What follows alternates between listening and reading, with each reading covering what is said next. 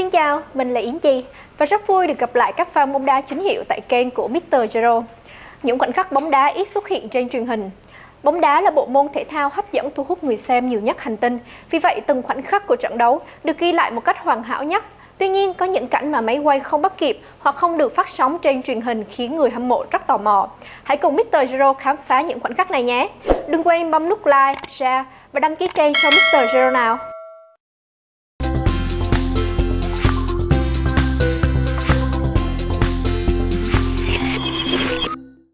Mỗi mùa giải bóng đá luôn có những giây phút ấn tượng khiến người xem khó có thể quên được.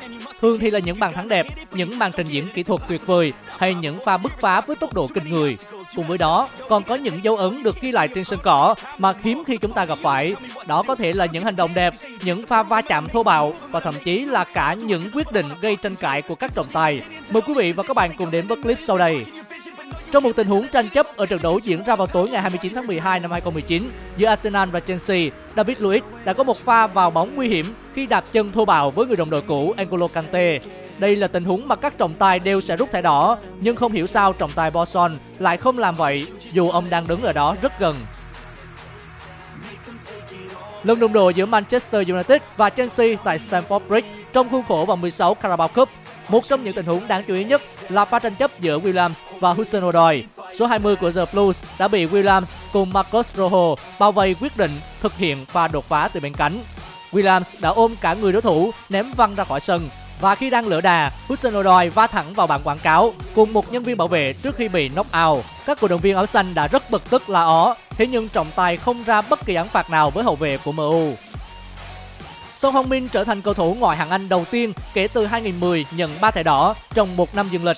Trong màn so tài với Chelsea hôm 23 tháng 12 năm 2019, Son Hong Min đã tiện vông chân đạp vào bụng người đồng nghiệp sau khi ngã xuống trong pha va chạm với Antonio Rudiger. Trong pha bóng có phần nhạy cảm, trọng tài Anthony Taylor đã cẩn thận vào tham khảo va trước khi quyết định dành cho cầu thủ này một thẻ đỏ trực tiếp.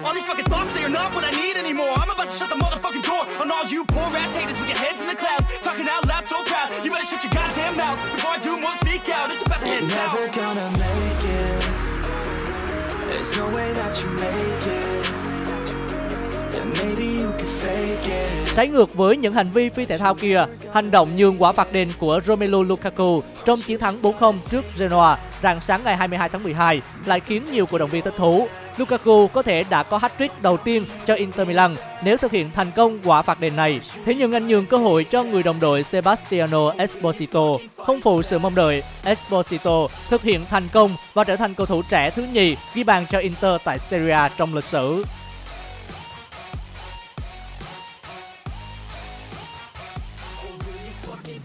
Cùng với sự góp công khi giúp đội nhà giữ trắng lưới trước Leicester City trong chiến thắng giòn giả 4-0, cầu thủ người Hà Lan Van Dijk cũng từng để lại hành động đẹp khi ra tay hỗ trợ người dọn cỏ trên sân vận động King Power.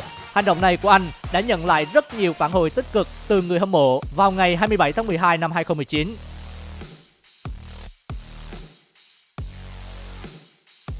Dele Alli từng gây tranh cãi khi có động tác ăn mừng khiếm nhã, làm nhiều người hâm mộ cho rằng anh đã bắt chước động tác này từ các nhân vật tại trang web phim cấp 3 The symbol of Le Brotherhood.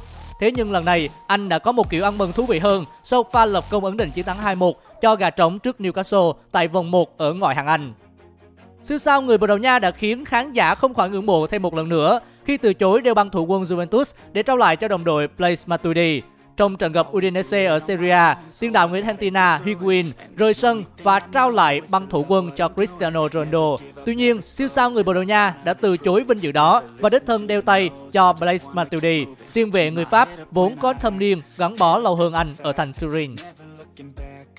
Có lẽ vì tự cho mình là người đặc biệt nên đôi khi huấn luyện viên Jose Mourinho cũng có những hành động khá đặc biệt. Trong chuyến làm khách trước Southampton, nhà cầm quân người Bồ Đào Nha đã sang khu vực huấn luyện của đội chủ nhà và nhìn trộm khi trợ lý của huấn luyện viên Hasenhut đang ghi chép chiến thuật. Hành động của cựu thuyền trưởng Man này đã lọt vào mắt trọng tài chính Maidin. Ông ngay lập tức rút thẻ vàng dành cho Mourinho dường như chấp nhận án phạt, ông không tỏ thái độ mạnh và chủ động bắt tay giàn hòa với vị trợ lý của đội chủ nhà. Trước kia, khi vẫn còn dẫn dắt Inter Milan, nhà cầm quân người Bồ Đào Nha cũng gây chú ý khi đứng sau để nghe lén cuộc trao đổi giữa Pep Guardiola và Zlatan Ibrahimovic. Thủ thành Thibaut Courtois là người đã có công lớn mang về bàn gỡ quý giá của Real Madrid trong trận đấu với Valencia tại vòng 17 La Liga. Real Madrid vừa trải qua một trận đấu vô cùng khó khăn trên sân Mestalla của Valencia khi để đối thủ dẫn bàn cho tới những phút giây cuối cùng. Rất may cho đội bóng Hoàng gia khi ở tình huống phạt góc quyết định, Thibaut Courtois đã từ bỏ khung thành để tham gia tấn công trước khi có tình huống đánh đầu nguy hiểm gián tiếp tạo điều kiện cho Benzema ghi bàn quân bình tỷ số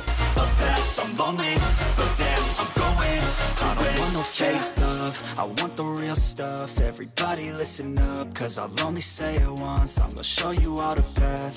If you want it bad I'm gonna show you where it's at. Yeah, how you can get it back. Yeah, cause I ain't never done. I'll be number one. Working hella hard until I get just what I want. Yeah, rises like the sun. Yeah, fatal like a gun. Các cổ động viên Everton đã phản ứng dữ dội khi cho rằng Alexander Arnold nên bị đuổi khỏi sân trong chiến thắng 5-2 của Liverpool hồi tháng 12 năm 2019 Nguyên nhân của sự việc xuất phát từ hành động được cho là cố ý trong một pha tranh chấp bóng giữa Arnold và Richard Leeson. Thế nhưng trọng tài không hề có án phạt nào hay quyết định nhờ đến công nghệ hỗ trợ VAR. Erling Haaland đã không kìm được nỗi tuyệt vọng của mình khi không thể giúp Sunbus đánh bại nhà đương kim vô địch châu Âu để giành vé vượt qua vòng bảng Champions League khi đón tiếp Liverpool trên sân nhà. Trong một khoảnh khắc quá đổi thất vọng và không thể kiềm chế cảm xúc, tiền đạo trẻ người Na Uy đã trút giận lên chai nước vốn tưởng được anh xin để uống lấy sức Chai nước đáng thương ấy đã bị ném xuống mặt cỏ sau khi Haaland chứng kiến Liverpool nhân đôi cách biệt trận đấu.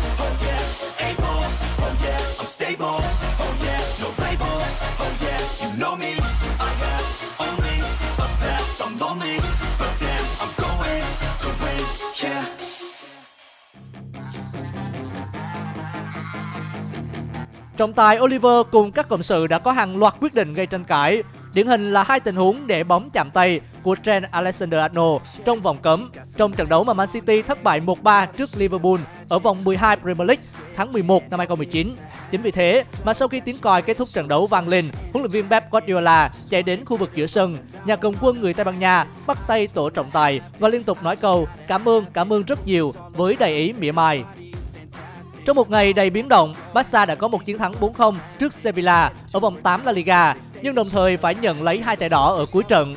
Trung vệ Araujo bị trọng tài Mateo Lahoz rút thẻ đỏ trực tiếp vì truy cản trái phép Chicharito. Trong cơn nóng giận, Dembele đã phản ứng khi chê bai trọng tài này bằng tiếng bản địa rằng ông là trọng tài quá tệ, bắt trận đấu dở tệ và thế là anh ăn ngay thẻ đỏ trực tiếp rời sân.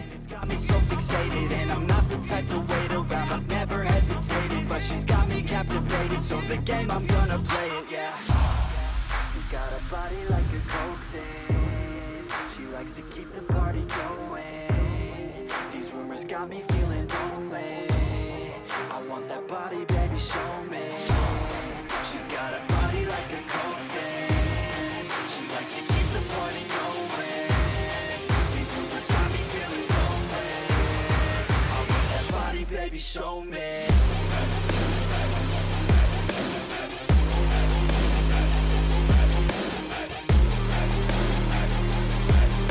Kết lại cho những khoảnh khắc hôm nay là tình huống của David Abraham trong một trận đấu có thể nói là đáng quên trong sự nghiệp của cầu thủ này. Tình huống diễn ra trong phút bù giờ ở vòng đấu thứ 11 của giải Bundesliga diễn ra hồi tháng 11 năm 2019 khi Freiburg đang dẫn trước Frankfurt với tỷ số 1-0. Có lẽ vì cây cú khi bóng lăn ra biên về phía nhà cầm quân của Freiburg thay vì chạy vòng qua người huấn luyện viên Freiburg để lấy bóng, thủ quân của Frankfurt đã cố tình huýt rất mạnh vào vai chiến lược gia người Đức này Quá bất ngờ với pha quật ngã như trên sàn đấu vật, ngay lập tức các cầu thủ và ban huấn luyện của đội chủ nhà lao đến đội trưởng Frankfurt quyết định ăn thua đủ với tác giả của hành động phi thể thao nói trên. Vừa rồi là những khoảnh khắc gây chú ý ở các trận đấu trong mùa giải đầu năm nay. Mặc dù có tốt có xấu, nhưng không thể phủ nhận rằng cũng vì thế mà bức tranh của thế giới bóng đá lại càng thêm phong phú bởi rất nhiều màu sắc. Cảm ơn quý vị và các bạn đã quan tâm theo dõi. Xin chào và hẹn gặp lại. from the heavens But I'm not too sure that this girl is a blessing. She's got the devil's eyes and they'll cut you like a weapon. She's stuck in my mind like a bad obsession. Got bad intentions. She got a body like a coke She likes to keep the party going. These rumors got me feeling lonely. I want that body, baby, show me. She's got a body like a coke She likes to